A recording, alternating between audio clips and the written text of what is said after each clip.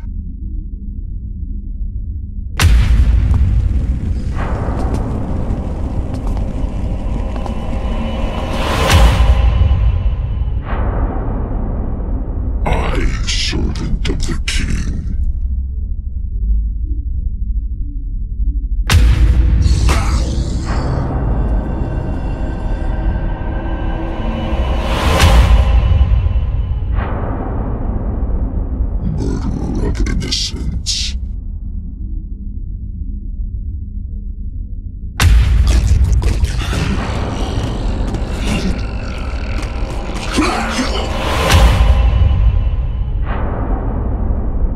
The Eater of Hope.